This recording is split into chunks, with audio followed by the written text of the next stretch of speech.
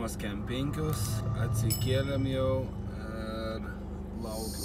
Iki 9 valandų pauzas liko 10 minučių. Kava padaryta. Kaip ir vakar sakiau, tai šiandien išvažiuoju iš aikštelės, suku iš karti kolonėlę. Užsipilu kūro iki Dunkerko turiu 566 km.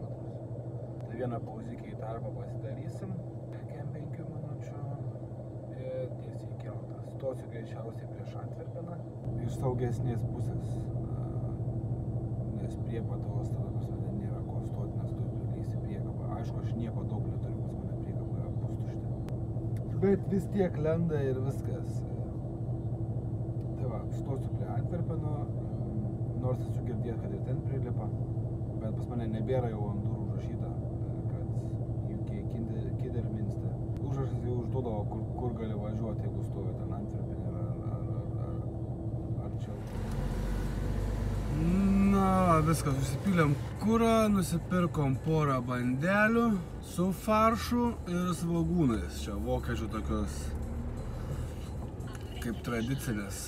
Labai aš jas skeptiškai žiūrėjau pradžioj, bet paskui paragavau ir visai skanu. Viskas. 563 km iki Dunkerko.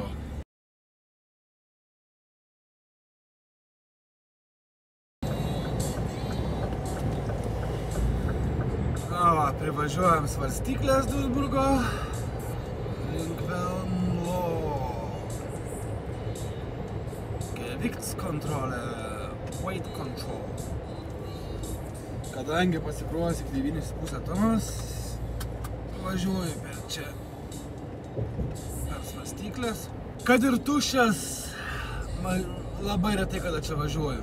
Bet dabar taupau kilometrus, tai nusprendžiau važiuoti per čia, nes pakankamai ankstus rytas, kamščio nėra, tai apsimoka. Nes diena čia realiai nieko gero. Čia diena taip užsikišę kartais būna, kad neįmanoma pravažiuoti. Aikštelėje va negabaritas stovi, su, greičiausiai su viršsvoriu. Pažiūrėsim, kiek ilgai užtruks su šito, su šito tilto remontu. Metai jau praėjo.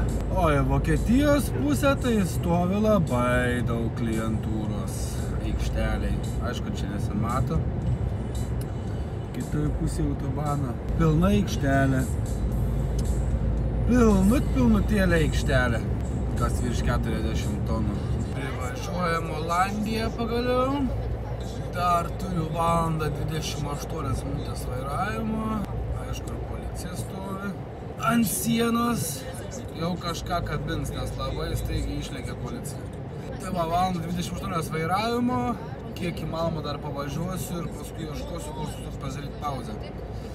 Nes čia Olandijoje bus nieko gero su parkingais tokiu laiku, nes visi dar pilni, kad ir 5 valandas ryto, bet parkingai čia bus pilnut pilnutėliai.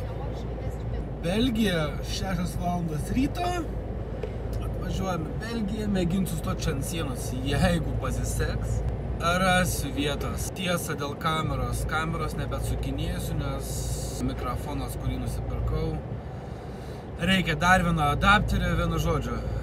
O kamera atsukus į selfie mode kažko labai nekaip veikia.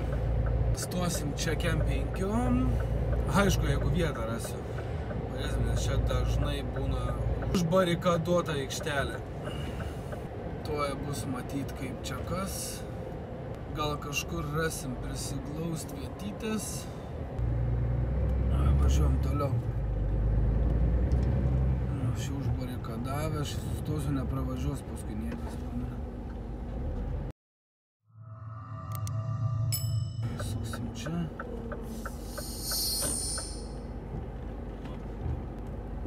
Tai, viskas. Kem penkias minutėlės pauzytės. O, praėjo kem penkias minutės pauzytė. Lekiam. Kiek matau, Antverpenas užsikišęs, tai čia yra normalu. apie 17, aš Brentverpino būsiu kažkur už 50 km, beveik valandytę. Bus pats tas bumas Antverpene. Ranst kolonėliai prieš Antverpeną dasipylėm kūro, 95 litrus. Na, nereikės Anglijai du kartus piltis, užteks vieną kartą, nes pas mane bakai, bakai maži. Tai piltis visgi teks vieną kartą dar, bet geriau negu du. Tai kaip tik kamštis ir labai daug gudručių per parkingą atgal į autostradą, nes negali biškai pasavėti kamštį. Tokiu aš nesuprantu, nes nelaimi kažkiek daug, laimi 2-3 fūras gal ir prie to pačios stabdo eismą pirmo juostui. Tokiais manevrais. Ką jie čia bando laimėti? Po dešimtos penkios ir mes esam ant Belgijos ir Prancūzijos sienos.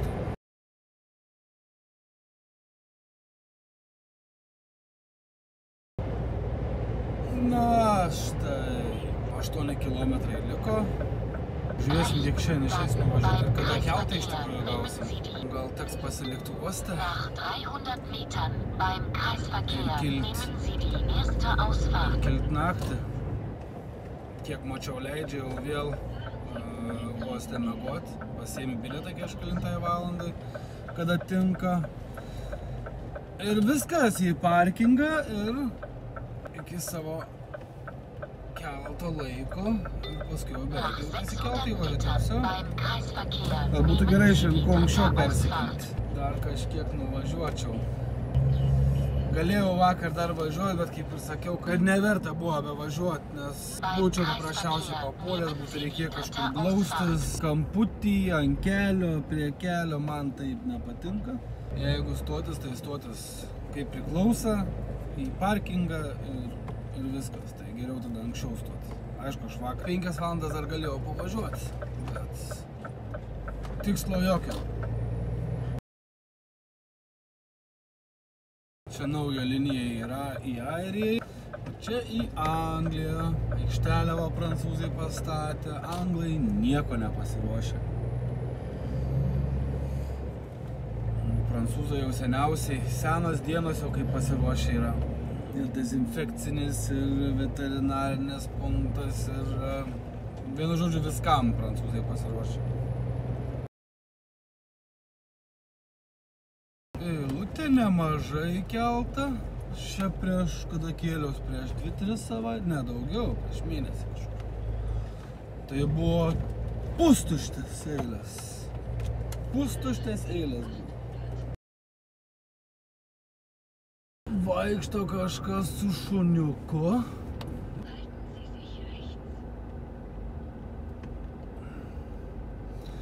Na ką, viskas. E, Tam kartui tiek.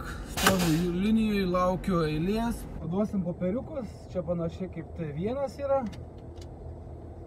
Ir sutikrins, tikiuosi, kad viskas gerai. Pasiemam biliečiuką į linijas ir lauksim kelto. Stovim patikrinime prancūzų pusiai. Sekantis patikrinimas anglų pusiai.